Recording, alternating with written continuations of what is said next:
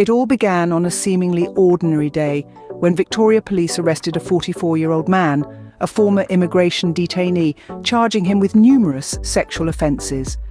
The arrest caught the attention of Sussan Ley, deputy opposition leader of the Conservative Liberal Party. Ley took to social media, posting a provocative message that soon ignited a firestorm of controversy. If you do not want to see Australian women being assaulted by foreign criminals, vote against Labor, she stated. This tweet, posted just days before a key by-election in Dunkley, Victoria, was met with outrage. Despite growing calls for its removal, the tweet remained on the social media platform the following day. The plot thickened when, on Thursday, Victoria Police issued a public apology. They had arrested the wrong man.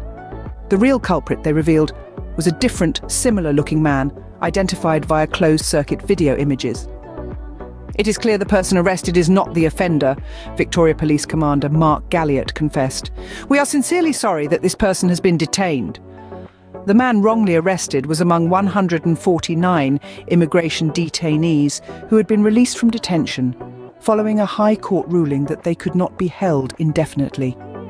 Many of these detainees had criminal records.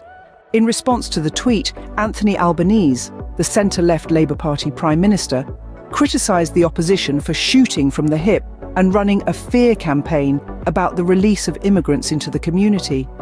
You have a fear campaign about everything and a solution for nothing, Albanese said. Sussan Ley fired back, accusing the government of failing to keep the community safe by not adequately tracking released immigration detainees with criminal records. As a woman, I am not taking a backward step on this and I'm calling it out, she declared. In summary, an arrest that led to a political storm has exposed the deep divisions in Australian politics over immigration and crime. The incident has further intensified the debate over the handling of immigration detainees with criminal records and their impact on community safety. As the dust settles, one thing is clear. This event will leave a lasting impact on Australian politics, potentially influencing voter sentiment and future policy decisions.